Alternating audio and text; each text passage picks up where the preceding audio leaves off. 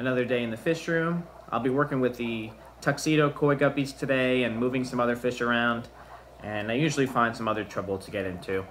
So let's get started.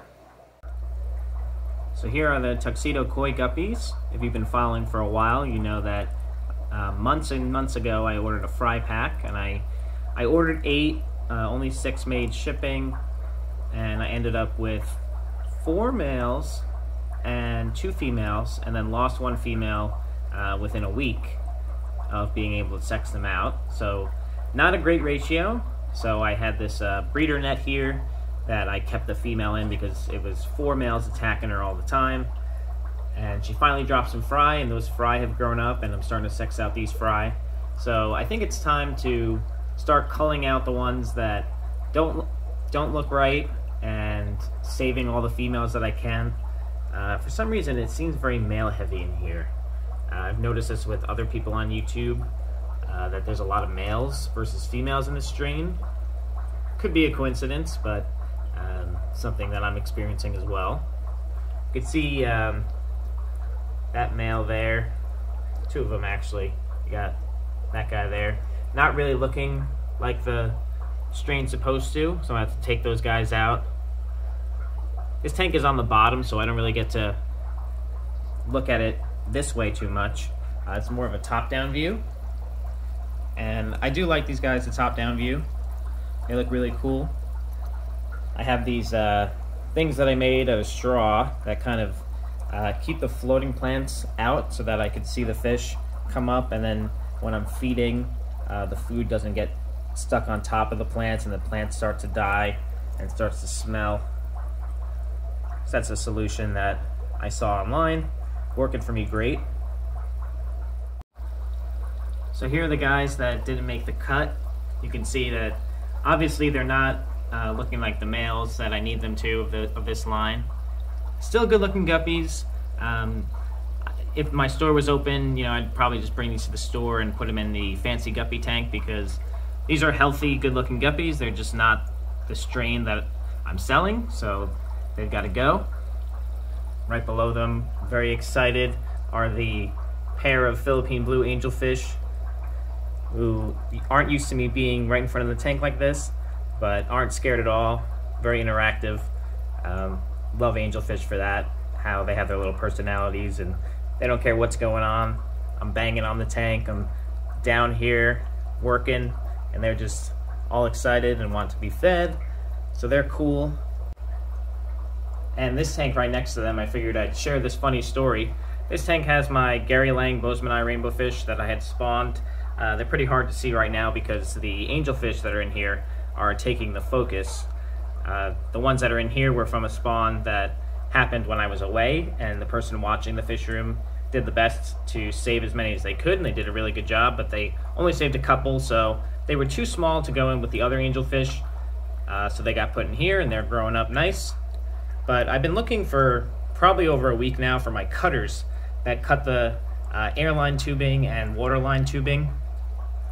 Right in the back there on the sponge filter are the cutters. I was looking behind, I knew I left them right here because I just was shortening some of the lines here and it didn't occur to me to think to look inside the tank. I was looking behind, I was looking all over the fish room for days, but no, it's just, just sitting in the back there. Uh, I was able to see it now that I'm down here.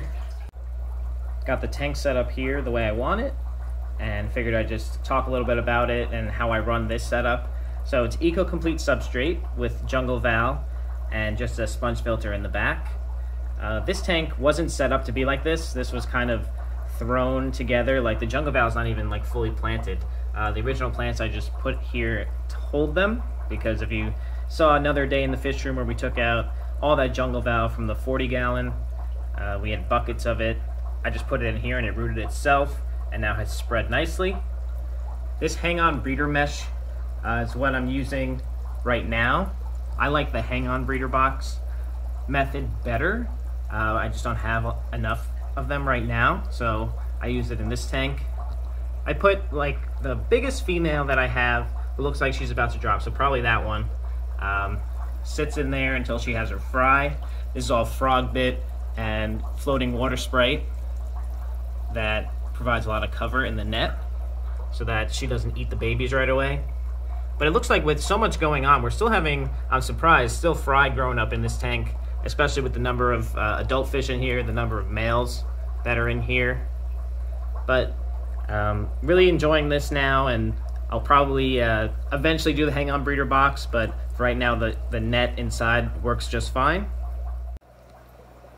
Looking at this 20 gallon here, you can see it's covered in diatom algae, something that I usually don't have a problem here in the fish room. Um, usually I have the snails clean up. You can see the snails, I love the snails for their cleanup. You can see their little trails there, um, the patterns of them eating the algae. And in all the tanks that I have the snails or bristlenose, I don't have any algae problems at all. Occasionally I'll get like a string algae, um, like this tank here, that is just out of control. I'm leaving it because I'm redoing the whole tank anyway, and the fish uh, seem to really like it like that.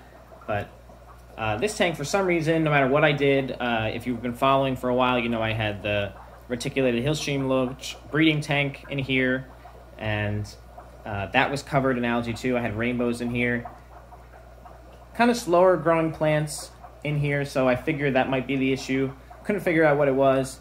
Uh, yesterday I was here uh, in the fish room in a time in the middle of the afternoon. Sometime I'm usually not in the fish room, and we do have one window right there shining directly on this tank.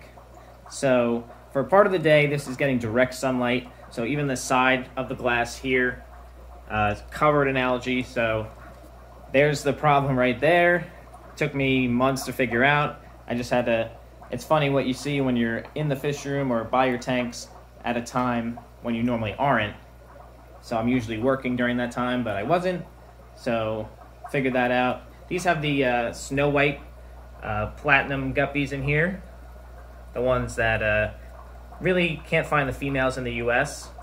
Haven't had any fry from these guys yet. Haven't really um, tried too hard. I figured that they'd grow out some more, but I don't even see the females uh, filling out too much. So I might deworm them a little bit just in case. Um, feed extra heavy, maybe put an auto feeder on here. I was going to originally, never got around to it. Let me clean this up uh, so we could get a better look at them. Got the tank all cleaned up here, did a big water change. We can actually see the guppies now. And I'm going to make an effort to fertilize this tank. The Pogostemon stellatus octopus in the back needs to grow out more. Maybe they're having fry and uh, eating them right away. These females are definitely adults, old enough to have fry. Um, and they look thin. You know, maybe after deworming, it'll be a little bit better. But with the fertilizer, I have to make sure that I fertilize regularly. It's really hard for me with all these tanks to fertilize on a regular basis. Um, I randomly do. A lot of people ask me what fertilizer I use. I use the Thrive fertilizer, and I get that on Amazon. Uh, I used Easy Green for a long time. I used it for a year, and it was really good.